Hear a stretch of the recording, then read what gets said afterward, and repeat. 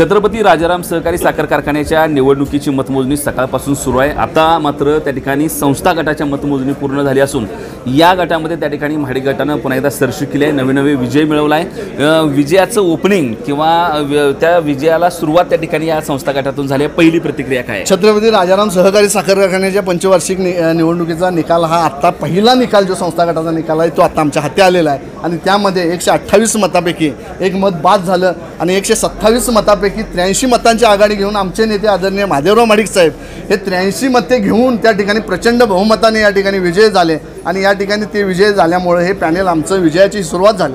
आमचे छत्रपती राजाराम सहकारी साखर कारखाना म्हणजे आमच्यासाठी एक मंदिर आहे आणि त्या मंदिरामध्ये आम्ही महादेवराव माडिक साहेबांना एक दैवत म्हणून त्या ठिकाणी बघतोय.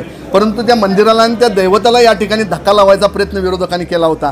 परंतु या ठिकाणी ह्या गाव कारखान्याचे जे ठरावधारक सभासद आहेत त्या ठरावधारक सभासदांनी चांगल्या पद्धतीनं मतदान करून त्र्याऐंशी लोकांना लोकांनी आपण प्रचंड बहुमताने या ठिकाणी विजयी केलं. विरोधकांनी ही संस्था गटाची निवडणूक अतिशय चुरशीची केली होती प्रतिष्ठेची केली होती. परंतु या ठिकाणी विरोधकांना अक्षरशः या ठिकाणी महादेवराव मालिक साहेबांनी धुरा जाळायचं काम केलं. त्यांनी एक स्लोगन घेऊन या निवडणुकीमध्ये आले होते की आम्ही त्यांचा कंडका पाडणार. परंतु या ठिकाणी त्यांचे आम्ही तीन चार कंडके पाडले आणि त्या कंडक्यांचा रस केला रसेचा साखर केली. त्या साखरेत आता कपामध्ये आम्ही चहा करून तो आता आम्ही पेणार आहे. त्यामुळे त्यांचा करेक्ट कार्यक्रम चांगला या ठिकाणी सुपडा साफ आम्ही करून टाकलेला. आम्ही म्हणजे सभासदांनी या राजाराम कारखान्याच्या सभासदांनी केलेला आहे. त्यामुळं आमचं हे छत्रपती शाहू सहकार आघाडी हे प्रचंड बहुमताने या ठिकाणी विजय होणार. विजयाची घोडदोड हे सातत्यानं चालू राहणार. त्यामुळं आमच्या गटामध्ये उत्साहाचं आणि चैतन्याचं वातावरण या ठिकाणी दिसतं